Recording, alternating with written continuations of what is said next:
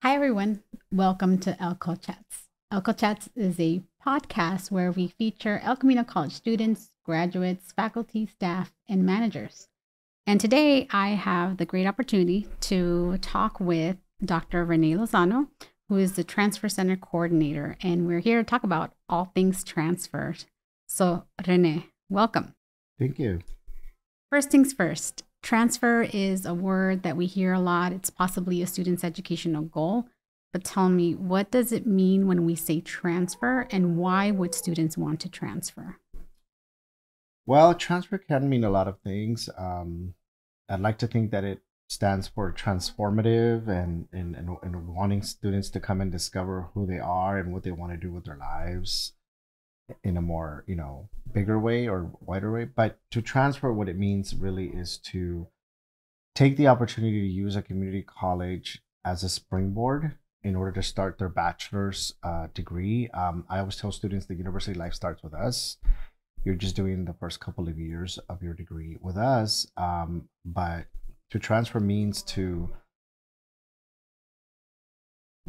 go to a university to complete the degree that you're hoping to pursue um, as a bachelor's major. Um, and we need to transfer them because we don't have the coursework here uh, in order for them to achieve that. Of course, in the meantime, we're going to always encourage that for them to get their first AA degree with us because that's a very practical thing they can use at the university level for either getting a job and or um, a paid internship but you know we do need to transfer them in order for them to complete that final and you said aa degree but i know and i know we like to use a lot of acronyms here at el camino what does aa mean yes thank you for asking so it's an associate of arts or an associate of science degree in whatever field they pick Sometimes it's in the same major they apply for for the university. Sometimes it's not, and that's okay because that just makes them a more diverse uh, student on the resume in the future, a diverse applicant for a job, having uh, multiple degrees with different uh, emphasis.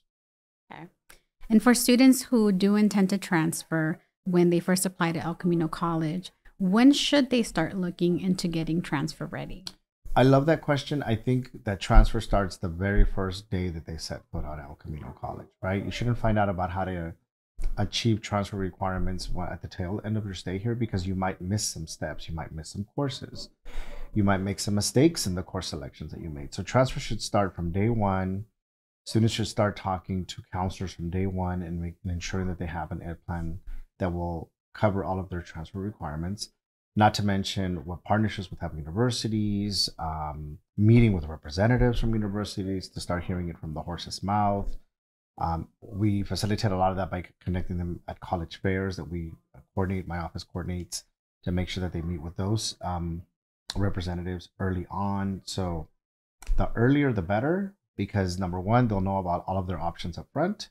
But number two, they'll have an ed plan that incorporates as many options as possible. And I think that as a transfer counselor, my goal is to make sure that students have all of the options and should not be limited from day one. And I think it's important, like you mentioned, from the day you set foot on campus, or really from the day you apply, that's really when you start getting transfer ready. Absolutely. And I have some set of questions here, but I'm going to jump off something that you said earlier because you do oversee the transfer center. So, what are those things that the transfer center provides to help students to get transfer ready? Well, we believe that we do it all and that we are at the stage of the, the we handhold our students at every stage of the transfer process. So, from day one, when they're at the exploration stage, we have workshops on how to be admitted into a UC, a Cal State, a private, and out of state, just to for them to explore options and know even how to approach becoming eligible for those institutions.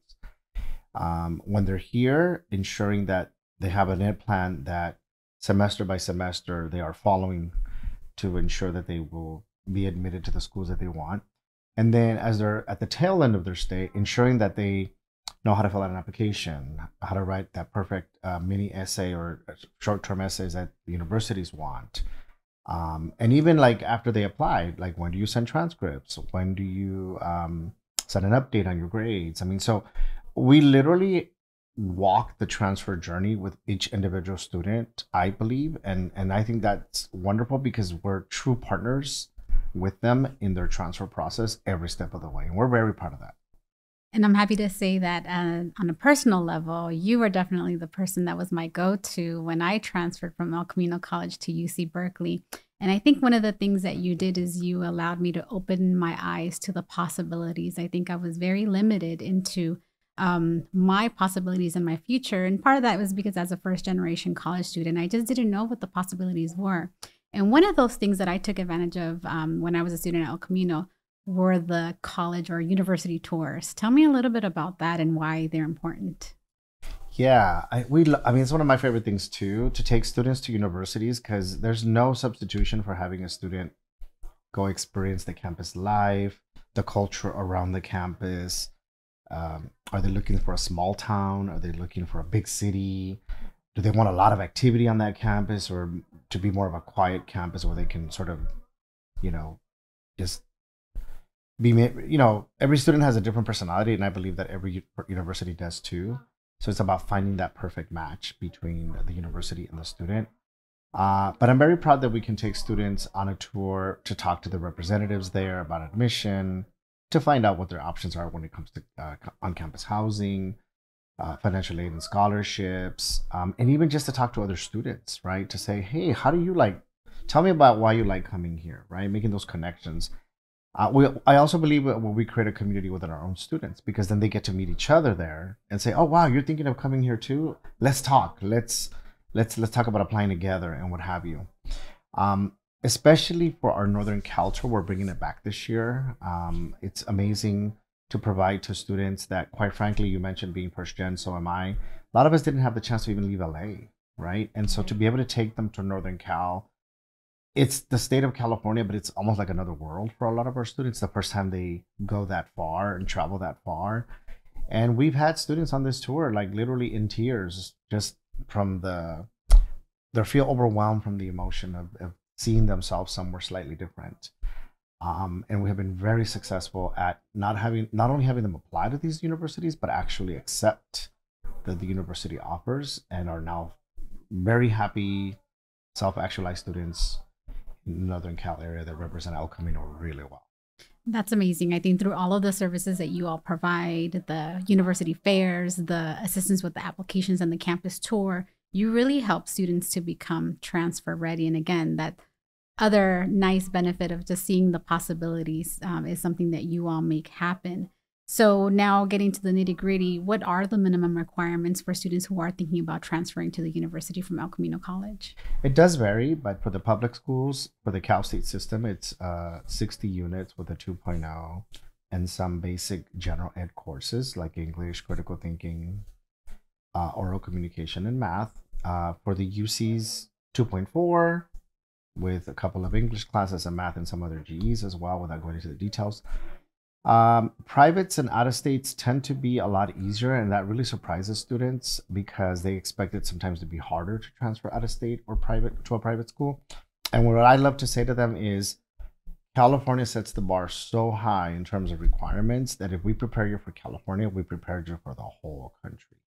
And that puts a smile on their faces because that means that we are in a state that holds transfer so high and and yeah it can be strict in some ways and can be restrictive but at the same time super prepares our students to be transfer ready across the nation we even have students that go to like the ivy league schools and, and things of that schools of that nature which again makes us proud that we at el camino are preparing students to truly go anywhere mm-hmm. absolutely now, um, what does high how is what is the role of high school in the transfer process? And again, I'm going to go back to my experience as an El Camino college student, not knowing anything. I always thought, you know, I would come to El Camino, be here for two years, and then transfer mm-hmm. and be there for another four years. Again, not understanding the process, but also I didn't realize what or how my high school transcripts would impact my transfer mm-hmm. process. So tell me a little bit about the importance of high school transcripts or how what does the role of high school play in the transfer experience? That's such a good question because I have two things to say about that. What role does it play in transfer admissions? Not a big one, right? Um, students truly have a second chance and a fresh start as community college students. So even the big UCs or what have you, or the Cal States are never going to say to a student, "We need your your high school grades in addition to your college grades." in, in order to offer you admission. So that part I like because in some ways, even if a student did well in high school, truly gives that students that chance to feel like they get a fresh start and, get to like sort of reinvent themselves. Mm-hmm. With with which, if we're honest, for a lot of our first gen low income students, they need that, right? It, I'm I'm so proud to be part of a system that truly gives every student that second chance, no matter where they start. Um, having said that, though, I do want to say that I'm not saying that high school is not important. Obviously, we know as educators here that the more prepared they come from high school and the better they performed in high school, the better college students are also going to be, right? Eh, they don't have to, they can hit the ground running because all of those uh, eh, eh, study skills and time management skills that they learn from high school are going to serve them well as community college students. And so I, I, I always like to clarify that because I'm not saying that high school is not important, but at the same time, it's nice to know that it's not going to be another barrier for students if they feel that they could have done better and did not. Absolutely. So, if in high school I wasn't prepared to apply to the four year university, then I apply to El Camino. I, you know, complete my minimum requirements and probably more, and then I can head out to a school like UC Berkeley, for example. Exactly, and that's what makes me so proud to be part of a system that will allow a student to to to give them that second chance to perform well because we know that a lot of times it's the K through 12 system that failed our students. It's not lack of intelligence, lack of motivation, or what have you. Um, I, in fact, I don't even like to use the word high school dropout. I like to use the word high school pushout. We push out a lot of our students for various reasons, especially from certain communities out of our high school because the resources are just not there.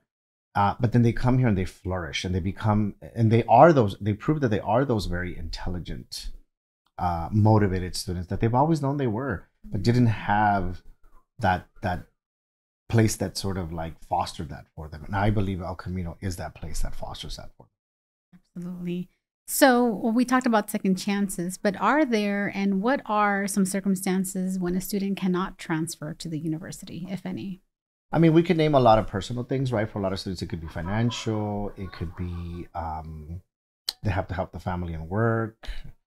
Uh, it could be, you know, um, just lack of resources overall. But I do also think that a lot of those are perceived. Again, being a first gen, a lot of us perceive barriers that we think, oh, I can't afford there, or, or I'm not UC material, right? And I think that our job is also to sort of demystify some of that. So even though there's some truth there, there's also a lot of myths. And um, I love that part of our job that we can demystify some of that for our students and dream bigger than sometimes they dream for themselves.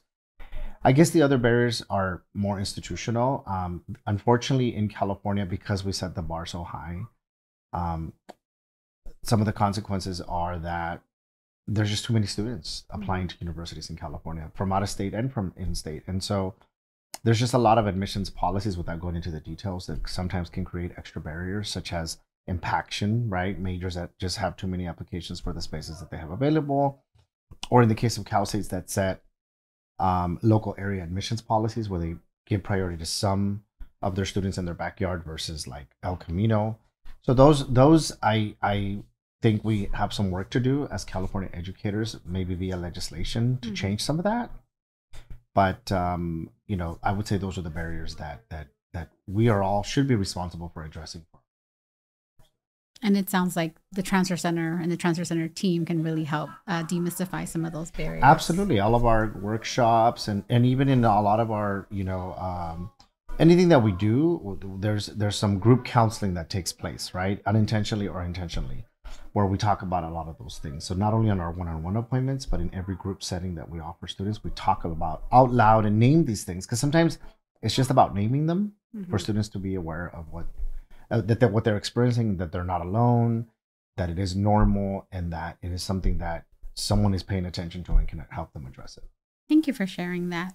Um, now, when students apply to El Camino, we come in with certain educational goals, and we have a mutual friend, for example, that thought they were going to come to El Camino, take a class in automotive technology so that they can learn how to fix their car, which turned into, well, let me get that certificate in automotive technology. And so, what about students who come to El Camino thinking, I'm going to get a certificate? And somehow along the way, they figure out maybe transfer is for me. So, are they able to change their mind, change their goals? And what's that process for students? Yeah, and you know what? I, I like if, if a student thinks I'm going to get a short-term career, short-term associate's degree. That's great. That's the way we hook them, right? I believe that education is one of the most positive influences we, that, that are out there, and if we can hook them to come do something practical first for their for their for their own sake, for whether they want a, a craft or learn a trade or even just they're curious about something. If that's what gets them in through our door, then that's wonderful, right? There's nothing wrong with that.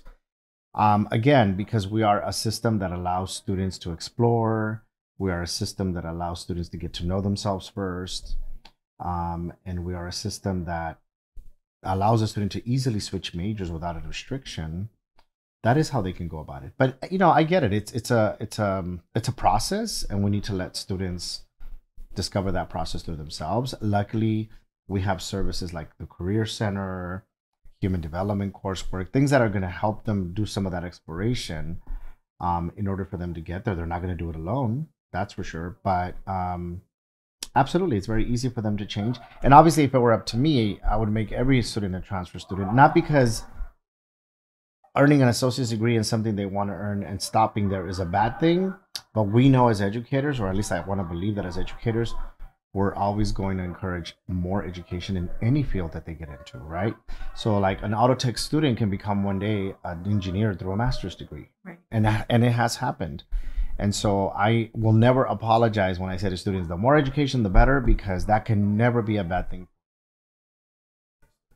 And I hope the student that we know did get take that class, fix their car, but she continued on, and now that's she's right. a doctor of education. That's so right. that's amazing. That's right.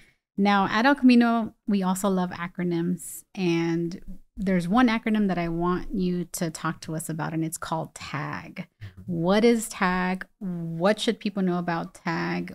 Why, why are they important? And just tell us about the benefits of TAG. Yeah, TAG stands for Transfer Admission Guarantee. Um, I'm very, very happy to know that our public universities have a true commitment to transfer students I think there's also a myth out there that universities are seeking out a certain student, but not necessarily community college students. And TAG is the ultimate proof that that is not true. Because universities, like the six UCs that we have tags with, um, we have Davis, Santa Cruz, and Merced up north, Riverside, Santa Barbara, and Irvine down south. When they created the tags, and I know this because I come from the UC system, they only had community college students in mind.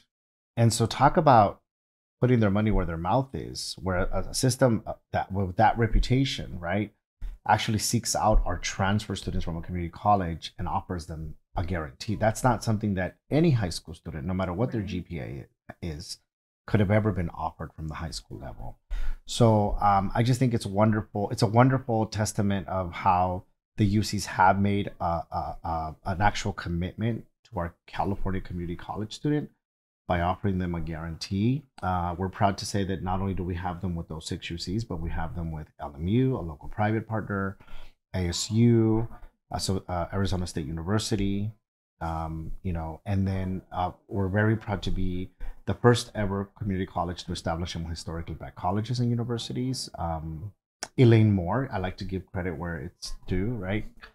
Uh, Elaine Moore took a sabbatical, one of our former counselors, to create this. And now it's a statewide thing. Mm-hmm. It's not just an El Camino thing, but I'm proud to say that we were the pioneers of that. Um, and so, and and it's and by the way, it's a constant thing. We're creating more partnerships as we speak. That's one of my my missions in the college here to continue creating more uh, guarantee opportunities for our students. That's amazing because I think there's not many things that are guaranteed in life to right. to say that we have these guaranteed admission opportunities to six of the UCs and I believe right now it's 39 historically black colleges and universities yes. that students can tag with. So that's amazing. Mm-hmm. So now for some advice for students who are thinking about um, applying to El Camino College, what advice do you have for them? Oh my goodness, where do I start? Okay, the first thing is um, to connect with us early. And I think that outreach and other programs on this campus have done a great job of making sure that our students are connecting with us early. Um, because the earlier that you know information, the better in terms of your planning. But also, I think we know that as faculty and staff, we serve as the cultural capital for our students, right? They, they want to connect with people that with faces and people that they can come to. For a lot of first gen students, they have loving families that support them in their own way. but loving families that don't have the information that they need, mm-hmm. right? So we become sort of that second extended family for our students because they can talk to people that have been through that process, right? We we we've earned degrees. We know what the college journey is like, and so that mentoring component, that aspect of, of the human side of like education is important. That's why if you notice, I'm wearing a T-shirt that talks about Puente, one of our strong programs that fosters learning, community learning on our campus. Um, and I've been a mentor for it for a long time because I believe that's the key for students to feel connected and, and feel wanted by a, an institution. We know that research shows that the more connected a student is to a campus, the more they want to stay at the campus and continue their degree, helps with the retention and things of that nature. So the earlier the better so that we can connect them with all of these programs and, and introduce them to the key people that are going to be their partners in all of this um, and also to explore early right to explore early what majors we offer what partnerships we have with universities um, and use every service possible we, we don't want students to find out that they could have borrowed a laptop a year later right. Or that they could have applied for financial aid to pay for their classes a year later so that's that's my advice ask those questions early, ask them often, and meet as many people as possible that will help you out with anything that you need at El Camino. Thank you. I know the one of the last students that um, I interviewed specifically mentioned your name as somebody who helped them along the way.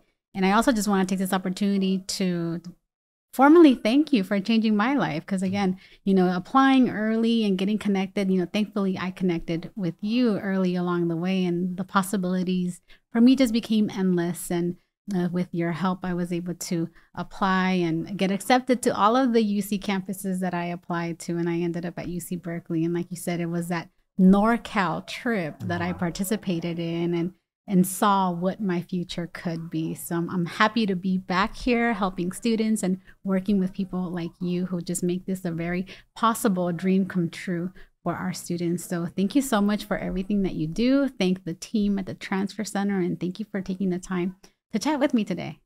Thank you, Julieta. And I would like to say, and I'm so glad you said that about the team, right? Uh, it's not, believe you me, uh, yeah, the passion for it com- comes from me and I have a lot of that, but it is a team effort, and I'm very lucky to have a team that makes all of this happen. I don't do it alone. But thank you for saying that because that fills up my my counseling soul, so to speak. It feeds my counseling soul to hear you say that. There's not a there's not a stronger thank you than a thank you from a student, you know. Um, and that's what it's all about. And now here you are paying it forward for the rest of our students. So how could I not be proud of being part of that? Thank you. Thank you, and thank you for coming in today. I appreciate you. you. See you next time.